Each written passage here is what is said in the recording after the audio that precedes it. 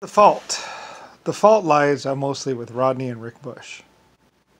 They were the instigators. They they were the ones that were the most stupid. They were they did they practiced epic stupidity. Rodney had a choice and he made the wrong one. He he thought well for one thing he thought the Republicans were right. Of course he didn't understand the Republicans were actually being had actually been created and were being run by Nixon, JFK. He was behind the scenes. For years he tried to make me think that I was the one behind the scenes, but it was actually Dixon. It was JFK he was the one controlling everyone, playing the game, starting the lies. Like I said, they they used to play around. They would set they would start saying lies in Germany, and then they would go back to America or the United States and actually listen to their lies, see if their lies made it back to to, to them in America. Anyway, they, they they did this whole like tell a, tell a different person a different story about your past thing. They they did a lot of screwing around. They created like like like I said it wouldn't have been so bad if Rodney had just basically been honest and truthful, but he thought that the Republicans could help or the Republicans were right or something. I was there, you know, you weren't there.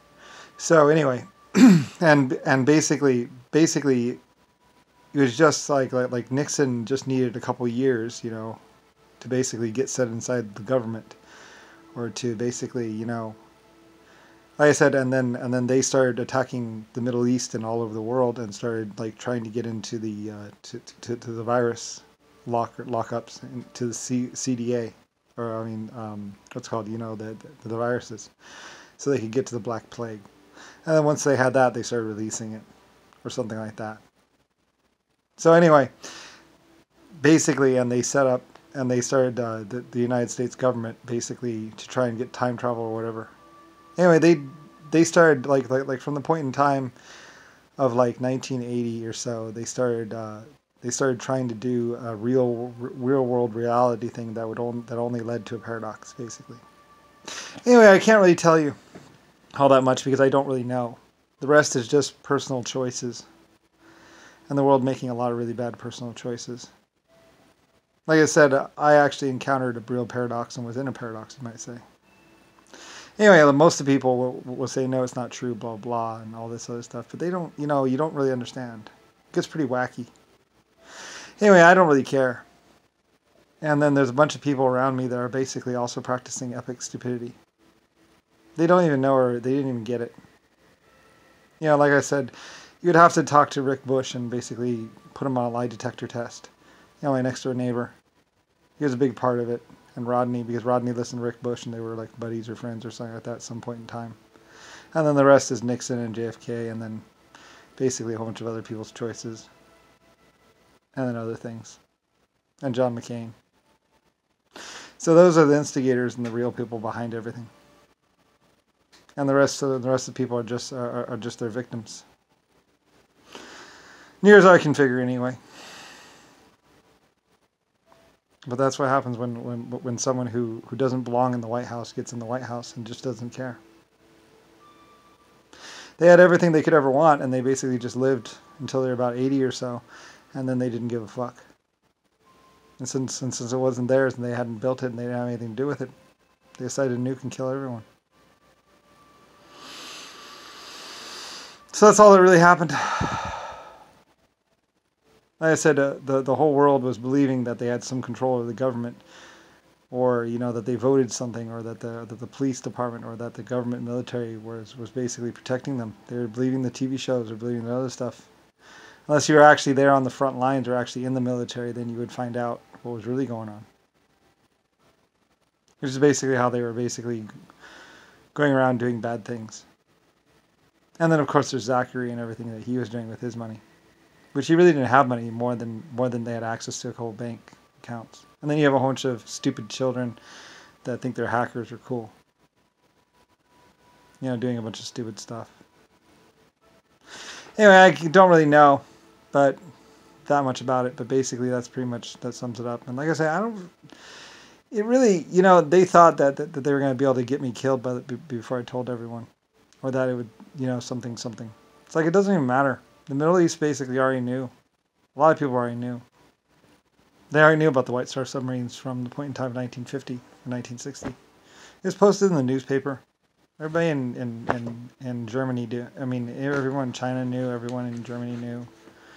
Everyone knew about, about JFK and and uh, John McCain. So uh, they all knew about the White Star submarines. It was it was released to the news. Everyone found out about that. So it's only the people in 1970, 1980, and me that kind of didn't know. Hey, whatever. You should have been locked up for a long time. And then, of course, you have a bunch of stupid hackers going swatting and then harassing people. And like I say, eventually they, they get taken out by somebody else. Existential existent voice basically encounters something that is a god and is that powerful. And it basically takes them and puts them someplace where they're never going to be able to get out from. I don't really know. I didn't have anything to do with it. They encountered some someone else that didn't like to get fucked with. And he was far, far more nasty than I ever was. Like I said, I wasn't really a bad person. I didn't really torture or get pleasure out of it, nor did I really torture. I was mostly just finding out information from JFK. And that's pretty much all him and a couple other people. Every, everything else was basically other life forms doing what they do. Didn't have anything to do with it. So anyway.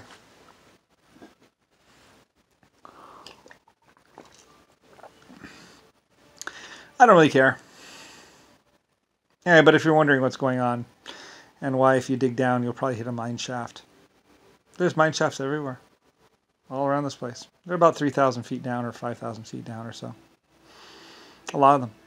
It's how most drugs, most most people, you know, you can go from all the way from, from Russia all the way down to basically almost Africa, depending. Uh, the the United States uh, Pentagon had all had all the mine shafts and all the mining information going back a long, long ways. They probably burned the records. I, I imagine JFK probably j- just grabbed them and then burned the records or something like that. But they might still be there. You never know. Basically, the mining department, which is basically all my company maps of all my mines. Maps and mining and, and, and everything else was, was basically one of my things. So, anyway, record keeping. I don't know anymore. I don't remember. It was all in the Pentagon. And that's what they wanted. I think maybe they thought it was in, in the Washington D.C. building, and there was information, and, and basically Washington D.C. was once at like a patent office. They could get the the blueprints and plans on motors and electrical motors and stuff, and that's what they were trying to get out of there. It was like a library, and then eventually we moved it to the Library of Congress or whatever, and then it became more like a courthouse. Anyway, they did a bunch of mock trials there that, that really didn't have anything, and they filmed it and, and made it look like they had done something or said things. But realistically, it was just a courthouse, and so it was not really the the. They were trying to make it like it was maybe once it was kind of the parliament, but mostly it was just a place where they where people would gather and they would talk about things. I just used it as a medium place or something or a courthouse. Anyway, everybody else in the world, they, they've all been believing the, these lies and everything else that basically JFK and John McCain and everyone else have been putting forward, and Rick Bush and Rodney Briley, and everybody else has just basically been victim to them. people believing that the American government or the U.S. government was was was okay and on their side. No, it never was. And basically, what, what actually keeps America running is more the police departments and, and basically the everyday people. The government has been basically been 360 crazy crazy town for, for, for about a good 50 60 years now unless somebody unless those fbi people eventually wormed their way back in but pretty much the congressmen have basically just been living large on lies and, and basically you know access to the to the public banking system. Basically, stealing just stealing or printing money out of the treasury since like 1940 or 1930. They basically just go to the treasury, pick up the hundred dollar bills, and leave. Bill Gates might have been doing that. Most people think that, that, that, that you have to go through this big long process to get money. It's like no, they just opened up the thing and just grabbed whatever they wanted and took it. Massive inflation, outrageous inflation. Of course, it's all my money though, so that's the funny thing. It's like, well, whatever dollars they're getting, they're getting your dollars. It's like, oh well, at least my, um, at least there's going to be a lot of my money around in the world. So it's really, so it's actually all just American money and my money. They didn't think to change it or something like that, or it would be too hard. So because they'd have to redo everything, and I had so much momentum already, they're just basically just grabbing my money and spending it. It's like, oh well, making everybody else rich in the world. So anyway, but it kind of also made it so they couldn't kill me.